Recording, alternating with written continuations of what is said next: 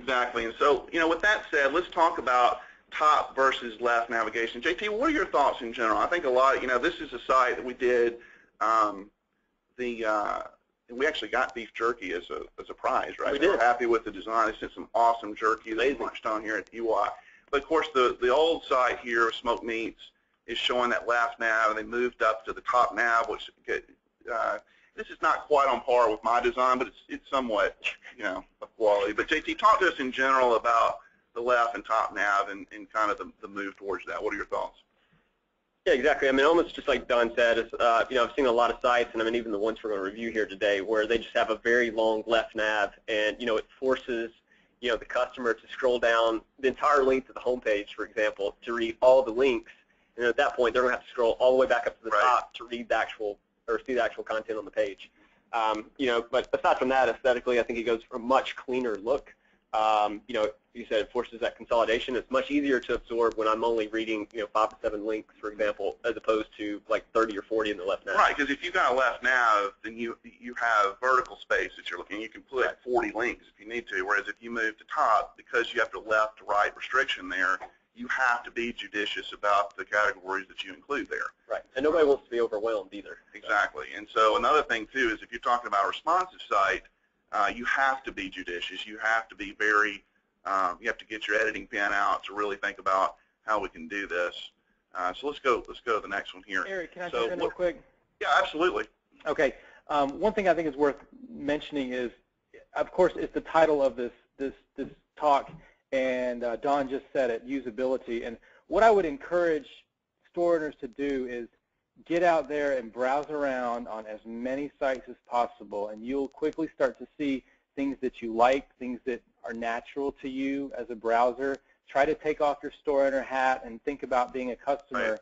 as you you know move the mouse around and see do what feels what you think would be natural for a customer, and you'll start to see the types of things that you you know you would like and maybe and that, those are the kinds the more research that you can do and the more things that you can do to figure out what other people are doing that you might like that'll give you and inspire you for ideas so that when you when you are looking at a redesign or you are contemplating different things that you you know you'll have some some ideas and you'll get the best design possible out of whomever you use for a redesign. Right, Um, exactly. Well said. So Mike, th- this next part, you know, a lot of people think that when we're talking about top nav that we're we're wanting to eliminate the left navigation, and that's not the case. Now, on some sites where you've got a very limited product selection, if you've got less than 50 items, and I was reviewing a site the other day where uh, the left nav, we'll probably eliminate that and just have the thumbnails stretch across uh, left to right. Uh, but here, what you're seeing is the left nav is reintroduced. So we eliminated it on the home page, but once they've navigated into Jerky, as you can see here, compared to the old side on the left back there, you're only showing jerky-related categories, right? So, you're, so if somebody says, I want to look at jerky, the only thing you're showing them is jerky-related products. You're not showing them smoked meats or gourmet gifts or deli stuff. Uh, that's for their section-specific navigation. Uh, you anything you want to add to that? Pretty self-explanatory. What do you think? No, I would agree. Yeah. If I, Okay. I'm interested in jerky. That's that's the only thing that I, I want to see. Right. Another thing, JT, too, JT, what what number of links would you say on the on the left hand side? Like jerky, this number you've got eight links there. Is, is that pretty much the top end, the number of links you'd want to see on the left hand side? No, I think for uh, you know interior left nav, you know, especially the section specific. Um, I mean, I, obviously I wouldn't show 100, you know, but I mean, I, I would even go up to say 20 or 30. I mean, to me, this is the level where it's all right to have a lot more links because it's specific to that section that you're on. It, it, that's well said. And, and I, you know, I had this discussion the other day with a merchant uh, that was debating about the fold. You know, the fold is where, you know, you have to start scrolling to see more of the um, elements on the site design. And I do believe that people will scroll, but I, I think that you've got to at least establish above the scroll what people can expect below the scroll. I, I think, you know, the the old adage was that if you anything below the scroll was death. I don't think that's really the case now, especially with mobile, um, that people will scroll. But I think you've, you have to establish something that inspires them to scroll uh, versus just having surprises below the scroll. And real quick, let's go to the next one here. So for the product page, what this does, you see the, the left nav is again eliminated. What, and this is a very straightforward, very simple uh, layout. It's just there it is, teriyaki beef, jerky, not a whole lot of options. Um, here's the, the description. But the left nav, if, if this was included, would only serve to compound uh, the, the detail when it really just needs to be streamlined. You know, uh, a lot of the product pages that JT and I come across, they have very, very small uh, product photos, and that's usually because they have a left and sometimes a right column that squeezes everything here, and this allows it to uh, be bigger and allow that, that meat to look savory and, and uh, delicious. Uh, so that's something to, to point out there. So before we get too in the weeds here, I want to talk about a navigation glossary here. So, so site frames here. Let's go through all these. Talk to us about these these various terms here. Um, the site frame is just basically the header and the footer of the entire site. It's what um, they remain consistent throughout every single step. Um, sometimes not as much on the cart, but um, every other part of the site, it's consistent. It's where people go to for information. It's familiar. Um, and then so again, the header includes um, typically the logo, the different categories. The and. TLC stands for top level categories Yeah. because of that second Yeah, TLC definitely. And um, the search, uh, the first place your customers will go to if Basically they're the looking top to of the find site. information, correct? And then the footer is where um, sometimes people put an address bar, utility links, um, the symbols that you mentioned, Right. the Norton. That's where you put things like Norton. that. Exactly. That's where you stick them at the bottom. Right. Um, and then, like we mentioned, the top level categories, those are in this Strings and Beyond example, like the strings by instrument, Exactly. strings by brand, the big categories, the place once they're ready to start shopping that your customers first go to. Right. Um, utility links are um, things like My Account, um, About us, contact, us, shipping. things like that. but it's Um, not product specific. yeah. In this case, String Strings and Beyond has a lot of theirs under a little drop down under Help. but, Yeah, um, that's love that, that. My Account up there. Um, and then browsing categories, um, things like new arrivals, bestsellers, clearance, things like that, that like that that aren't necessarily um, They're not product specific. correct. Yeah. Exactly. Very good. All right. So let's talk about some do's and don'ts about navigation. Now that we've gotten this, these uh, six-point glossaries aside, let's go into some do's and don'ts.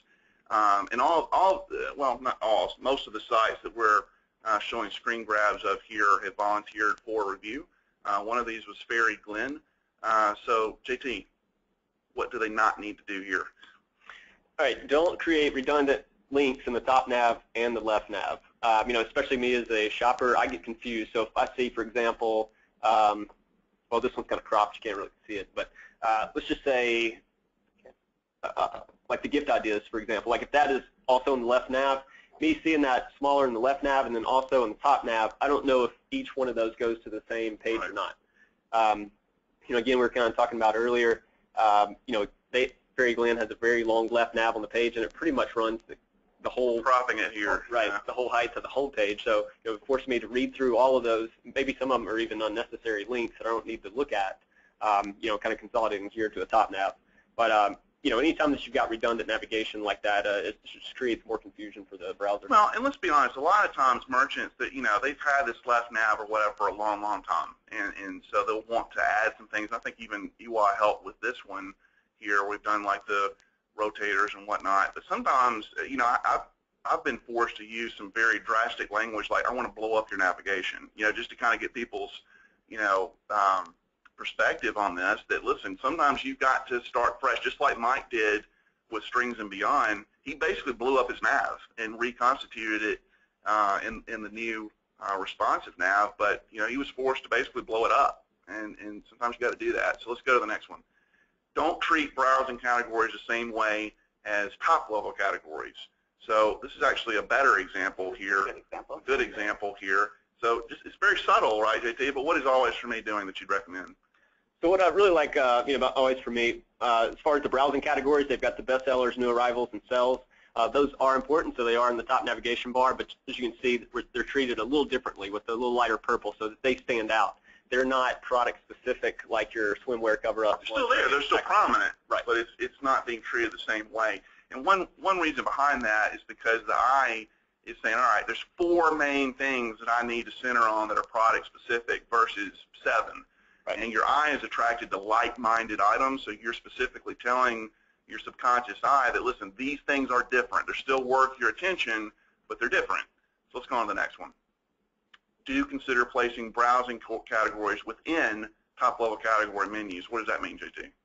Okay, so for example, um, you know, if we were to look at this full site, they didn't have enough room in their top navigation. So what we actually did was to pull, say, like the new arrivals, uh, for example, in this one, we actually put that in each of the TLC drop-downs.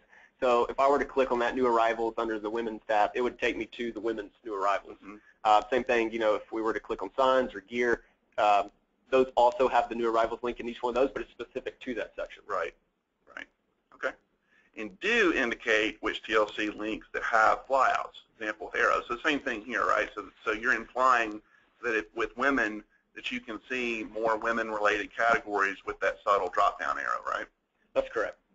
And some of these examples we'll look at uh, here soon, um, they don't have any arrows or anything, so it's just a lot of top nav, top nav categories, and it's not until you actually hover over those that you actually realize that they have a flyout. Well- poor navigation. Yeah, exactly. So Don, let me take a, a quick break right here. What, what is your take on hover versus click to deploy? We'll talk about mega menus here in just a bit.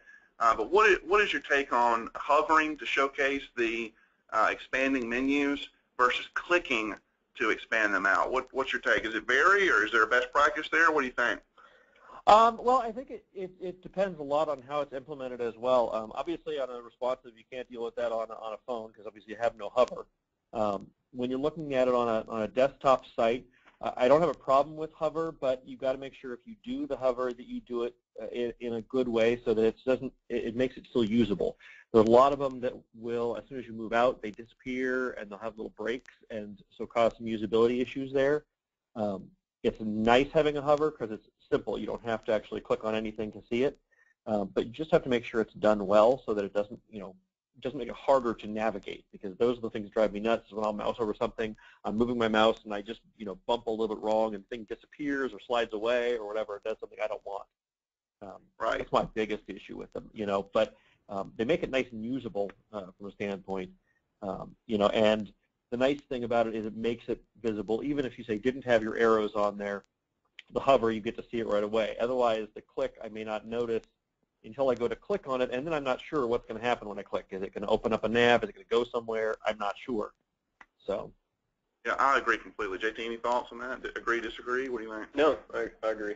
Okay. All right, a few more slides for do's and don'ts, and then we're going to tee up Tara for her segment here, talking about the hamburger, right? Um, so do's and don'ts. Don't have two rows of stacked top navigation. This is a site working on here, OTC Wholesale is the, the current site design here, and as you can see with this blue um, bar here, medicines, personal care, bath and beauty, da-da-da, and they've got the second row here as well. And again, you know, the, the merchant's trying to figure out, look, all these things are important, how can I fit them? And so their their option was, well, let's just create two rows here. JT, what's wrong with that? Whew, hard to read on the eyes, uh, especially that much, or that low a contrast rather, that thin a text on those uh, the colored blue bars. Uh, just makes it very difficult. There's a lot going on. Uh, it's creating a lot of kind of visual tension up there. Um, I'm not sure if they do it or not, but for example, I've seen this on other sites where they've got two rows of stacked navigation like that, but each one of those actually has a flyout. And again, That's a good point, for- especially for double flyouts, right? right, double on two flyout. So as you're hovering over one of those, then it's overlapping the categories of, uh, below it. Right. Okay. Very good. Let's go on to, yes, it's organic. Don't place utility links next to or in place of TLC. So here, if you if you look below the grass line here and you see the sale, shop brand, adult, uh, you know, the the Y organic. yeah, and then why again? I mean, all of these are important. And one of the comments I typically make to merchants is, listen, all this is good stuff, and I don't want to necessarily remove it from the site, but maybe we don't execute it the same way. Maybe we place it in a different area. Because it, your eye is trying to think, all right, what, what can I expect here? Uh, what can I shop? And it's, it's seeing a combination of informational as well as product-related links. It, it, it, it messes up the flow, JT. Am I saying that right? How would you phrase that? No, I'm not say the same thing. Mhm. Um, and I think you know, even going on the same top nav, uh, you know, we're talking about removing some of those unrelated, uh, the product specific ones out. Um, but I mean, even like the the shop. Notice there's like the shop brand adult, shop brand child baby, and then over there on the far right, we've got the shop fabric. I mean, I would even group similar elements together. So the ones that start with the shop, I would get those closer together. Again, it's just kind of the the visual flow. Right. Well said. Okay. So one more do's and don'ts slide. Don't have crossover subcategory links in multiple top-level categories. And we don't actually have a slide for this one, but what we what we typically see um, is when you've got the subcategories in flyouts, the, the real estate is so precious and so um, you know specific to that that if you take these these subcategories and put it in various top-level categories there, that it it can mess the flow up. What do you think, JT? Right. Um, and also kind of a similar example, sometimes like we'll see um, where a client will have like a shop all or shop all products as Mhm. one of the main ones, but then some of those same categories are also pulled out in the top nav. Right. And to me, kind of going Uh, back yeah. to the redundant top navigation we we're talking I, about. I think the big takeaway is you've got to have a plan. Look at these these categories as like chapter headings, and you want to tell a different story in these chapters than you do in another chapter. Right. Okay. All right. So what you're seeing here is do use the footer. Now a lot of people overlook the footer, and they'll just put a few, um, you know, just random links here. But people, listen, if a well-designed footer will get some clicks. It will get eyes on it. Uh, this is one from our client, Toy Wiz. Is that right? Yes. Toy Wiz.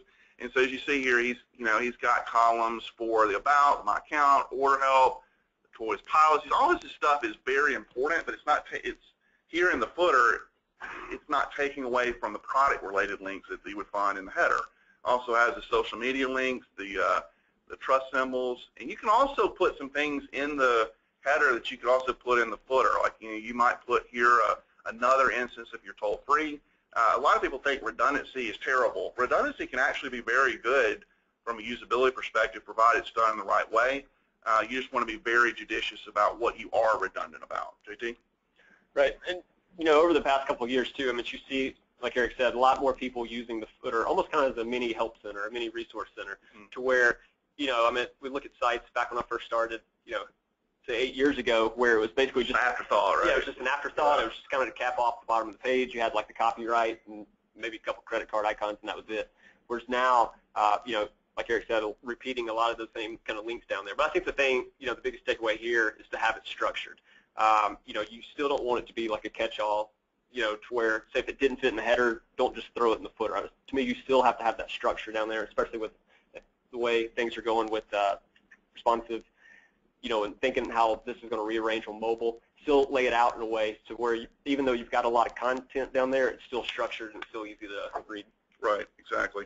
So, Tara, the hamburger. We've teed it up here, and it and it's here, the hamburger. Now, Don, you were actually thinking it looks more like an egg McMuffin. Is that right? With the Yeah, you know, I've, I've had some people comment yeah, it's more like an egg McMuffin since they're all even, you know, because some of these burgers nowadays, you know, it's either really big or really small in the middle. But uh, Yeah, I tried to find a hamburger graphic here where they were relatively even. I spent a why don't you use good part of my We should have day. just like a juicy like photo of a hamburger. You know, it's like that's not I had lunch but uh, right, okay. So, but we, we, we've also talked about, you know, responsive specific navigation.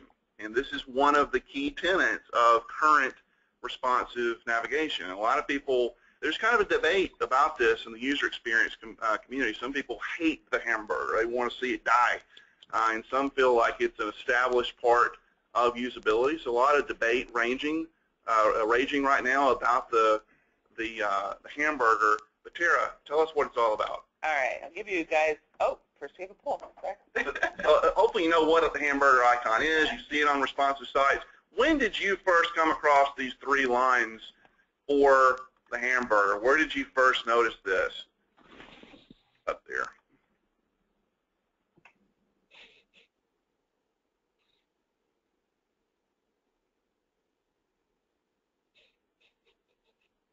We're voting. Lots of votes coming through here.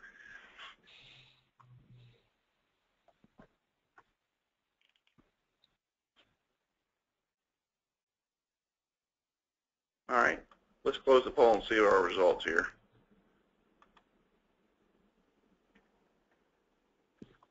So about 58, was it 58%?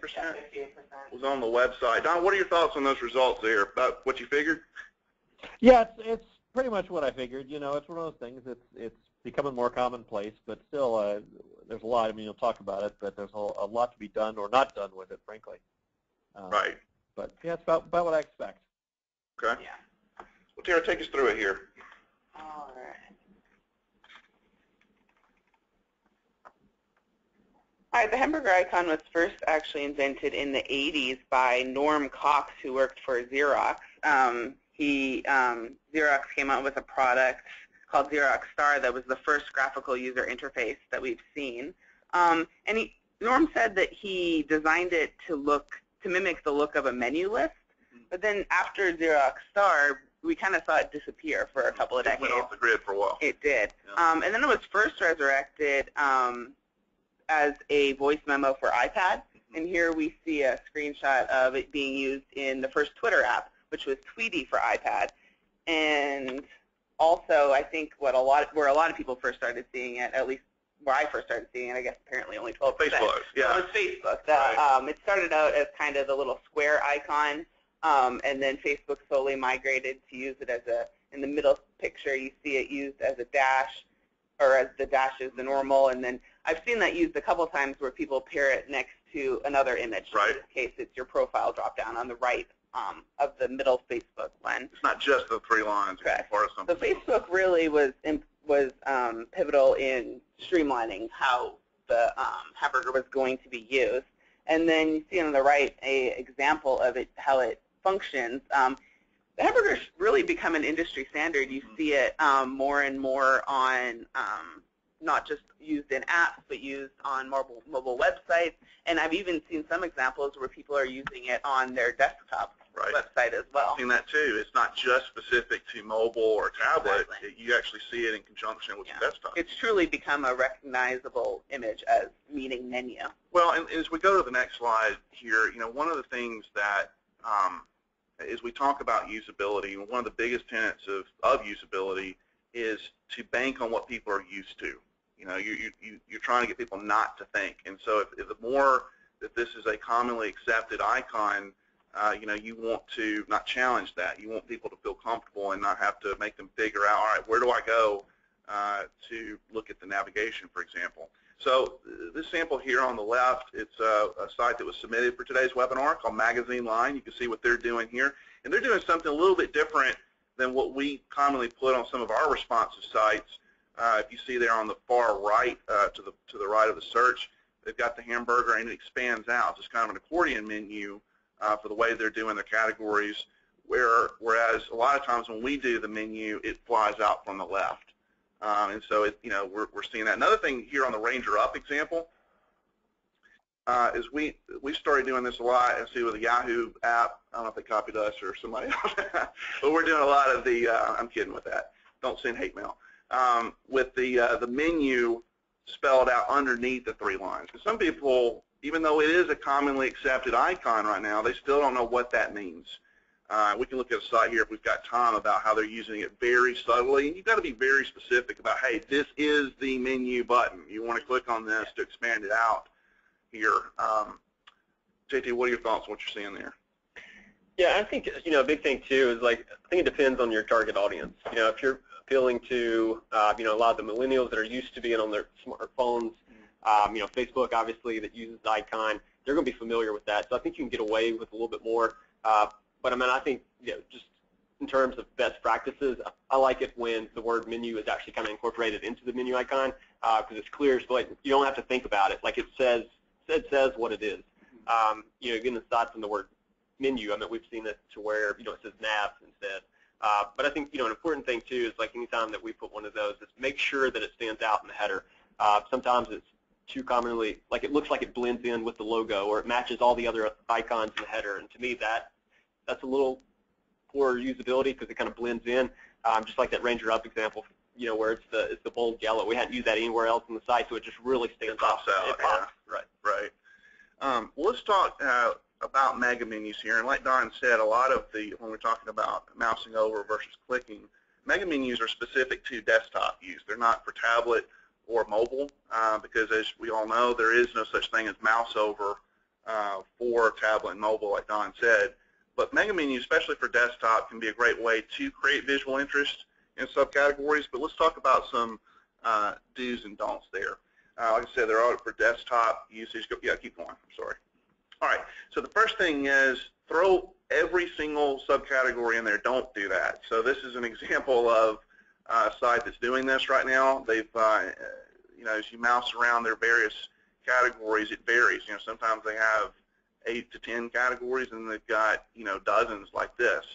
Uh, they also have, we'll talk about this here in a second, but this example has just a picture there. It's not clickable to anything, and it's just kind of there. It's just kind of eating up space, and there's a lot of unused space underneath that.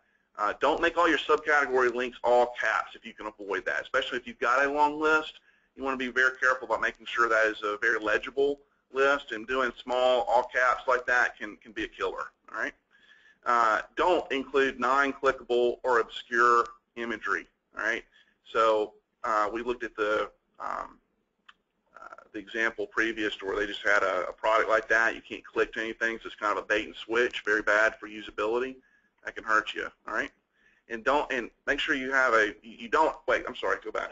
That you don't have a huge spatial variation between menus. So here in this um, this site example, you can see that one is very very long, one's very small you've got to have kind of an average between that. Now, if you remember back on Mike's for Strings and Beyond, his mega menus were all very different. Uh, it wasn't like it was one formula that stretched across the site because the content was very different uh, with each. It was the same basic uh, dimensions, right, JT, for, for that, but the way that we handle the layout was, was very different. So if you're going to be different, make sure that the layout uh, changes accordingly.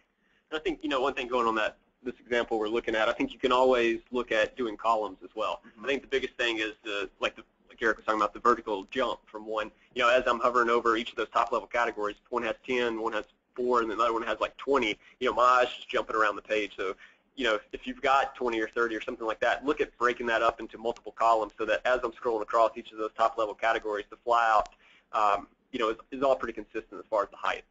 Right. Okay.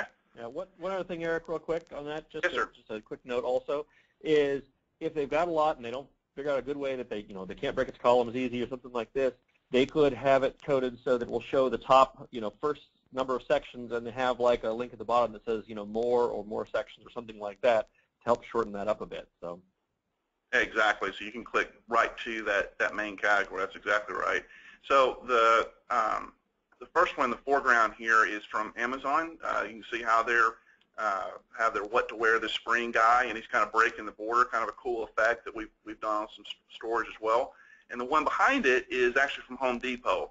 But what you're seeing with both of these is they're grouping, uh, especially with Home Depot. So they've got lumber and composites there, and like with even with that little orange arrow, it's very subtle, but it's very clear that if you click on lumber and composites, that takes you to the overall landing page.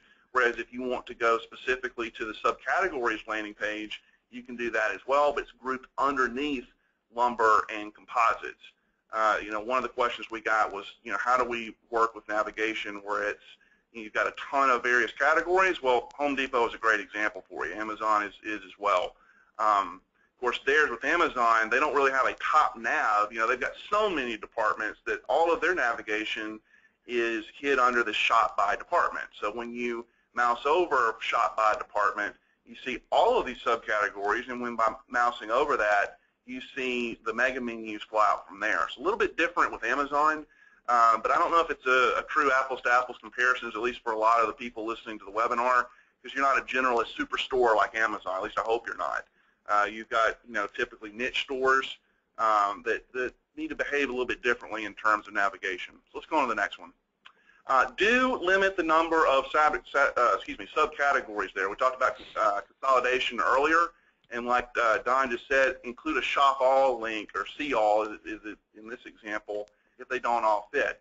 So in this example, this is a site that we did uh, with cleaning and detailing as you mouse over, even from a consolidation for the top level categories. They really have three top level categories and they have gift guide and bestsellers treated in blue. Like JT said earlier, you want to treat those a little bit differently. But when you mouse over cleaning and detailing, notice how even for, you know, ordinary household products like this, it put a little bit of a visual flourish for people to recognize hand duster versus just a, a link that doesn't have any kind of visual attached to it.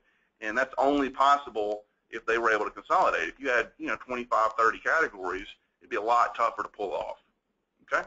Let's go on the next. Okay, yeah, feature bestsellers in larger displays. The example here is micro, microfiber mops.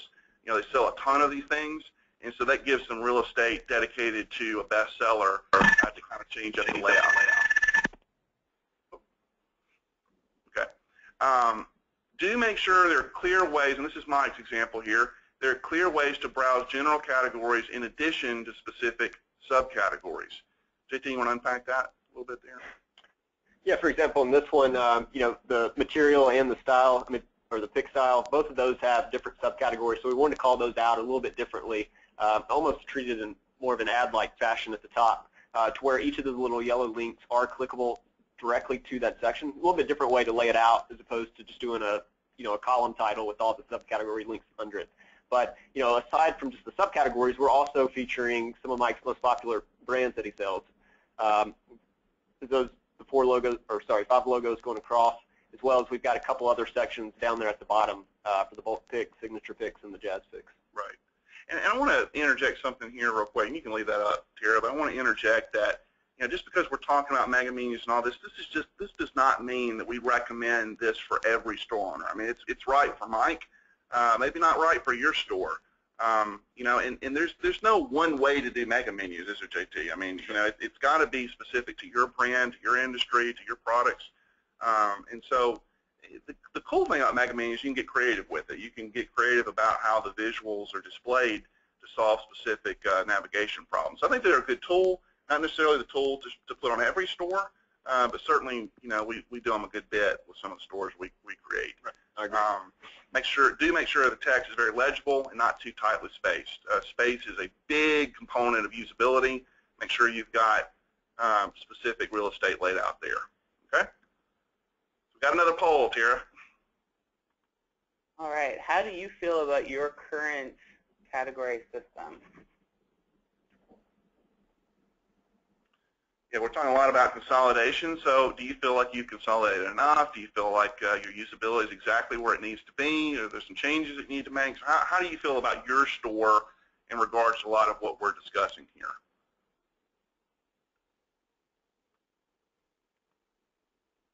All right, let's show the results there. So 44% said they're pretty satisfied with it. Okay. So Don, what, what's your what's your take on what you're seeing there with the polls? Kind of even eat there as far as too full and bloated and and the Yeah, last well, one think I look sure it- When I look at that, I also see that really it's like 56% aren't Right. happy with their with it. Even though Right. it looks like you know the majority are happy, they're really not. It's most are not happy. It's just two different categories for it. Mhm. Um, you know, they know they have an idea they what to do, or they don't have an idea what to do. But either way, they they aren't happy with it, and it's tough. It's tough when you look at your products, trying to figure out the best ways to categorize. Um, you know, and there's different ways you can you can categorize by product, you can categorize by the type of shopper, um, you know, and they can all make sense. So every store is a little different. right.